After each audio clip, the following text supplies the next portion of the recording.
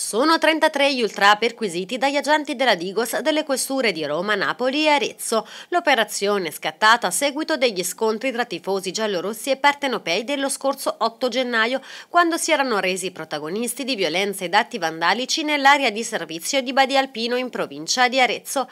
Si tratta di 20 persone riconducibili alle tifoserie della Roma, 12 a quelle del Napoli ed un aderente agli ambienti ultra aretini, tutti individuati dagli agenti grazie all'analisi dei filmati filmati delle telecamere dell'area di servizio e di alcuni testimoni che hanno filmato con il proprio cellulare. Con il decreto di perquisizione emesso dalla Procura di Arezzo, adesso gli investigatori sono alla ricerca di ulteriori elementi di prova per definire le condotte di responsabilità.